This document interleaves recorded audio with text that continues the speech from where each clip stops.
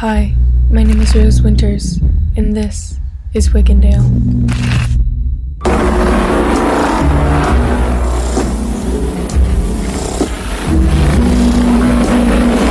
And there's a new patient, Harry Styles.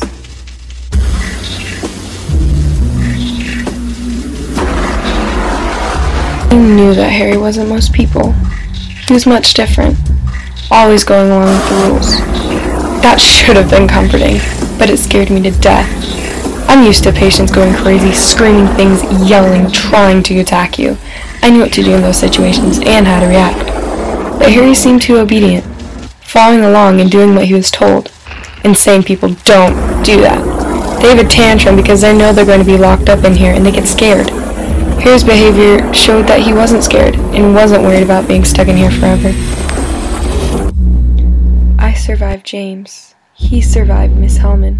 But what we both didn't know is that we'd be surviving Wickendale together.